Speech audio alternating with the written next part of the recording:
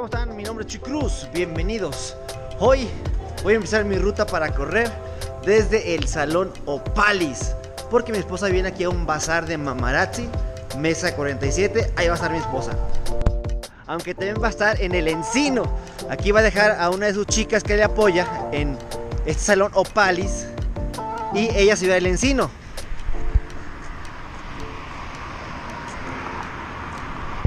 Y ahorita voy a aprovechar para hacer mi ruta dominguera. Unos van a ser más o menos unos 7, 8 kilómetros más o menos hasta mi casa porque también tengo que ir ahí, ahí, con mis hijos. Voy a pasar por Isla San Marcos, voy a pasar por las instalaciones de la Feria San Marcos, voy a pasar por el Jardín de San Marcos y de ahí rumbo a mi casa. Acompáñenme amigos. Ahí tenemos el, la isla San Marcos, un lugar muy bonito que ya es una extensión de la feria de San Marcos. Y ahorita en Navidad hay feria navideña, hay pista para patinar. Ahorita vamos muy bien, estamos a 9 grados, sensación térmica yo creo que más baja. Hasta ahorita muy bien, porque ha sido bajadita, aunque la bajadita es cuando se lesiona uno más, porque le quiere echar más feeling no, tranquilo. Tranquilo, vámonos.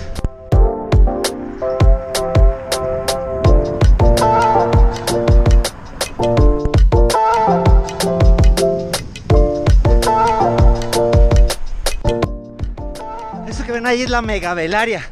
Es donde termina la feria. Y se conecta hasta la isla San Marcos. Pero aquí ya llegamos a las instalaciones de la feria.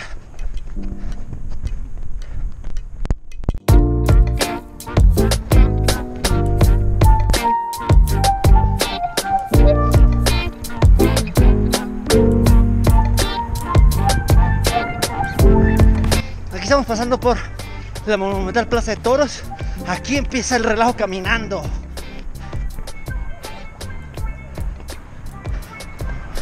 Imagínense toda esa calle llena de gente. Llena de gente cantando, bailando, disfrutando. Aquí en Aguascalientes hubo dos años seguidos sin feria y también sin dinero. Pero mira, ya el 2022 se celebró la la feria y ya la gente espera del próximo año. Y arriba está un, un torero con su torito en ese reloj y cada hora sale a torearlo.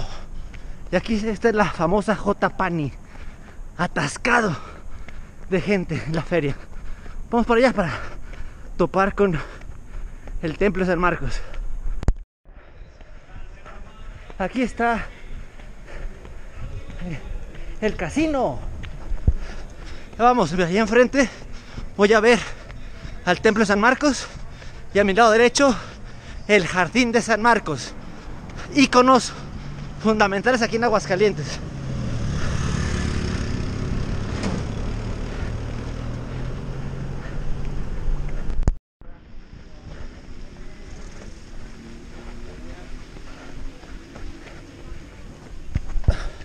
Y entramos al Jardín San Marcos.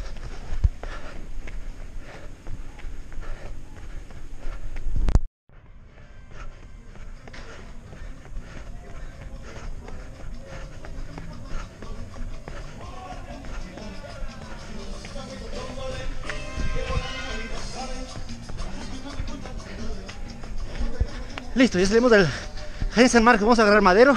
Bueno, que se llama Carranza. Para seguirle adelante esta Carranza. Puros antros aquí. 4 kilómetros y medio. Así que hay que descansar para caminar 500 metros. Voy a agarrar la calle Libertad y me voy a ver todo derechito. Allá se ve una un templo, un templo que es de padres dominicos. Vamos muy bien. Los pulmones muy bien. Un poquito de dolor en la planta, pero ya se me está quitando. Vamos muy bien. Eso es lo que estoy practicando. Lo que yo voy a vivir en el maratón. Voy a correr 4.5 kilómetros y caminar 500 metros. Para así comentar secciones de 5 kilómetros. Y así me lo voy a llevar. Yo no tengo prisa para correr el maratón. Están tan caros que acabarlos tan rápido, híjole, no tiene madre. Entonces, lo disfrutamos y sobre todo, cuidando mi salud física. Eso para mí es más importante que llegar. Porque maratones hay muchos. Vida, solamente uno. Vamos a seguir amigos. Pasar el templo de Guadalupe. Es la calle Guadalupe. También un, un templo muy tradicional aquí de Aguascalientes. Ahí es donde llegamos cuando corremos el mal llamado Maratón Guadalupano. Porque es una carrera pedestre de 13 kilómetros.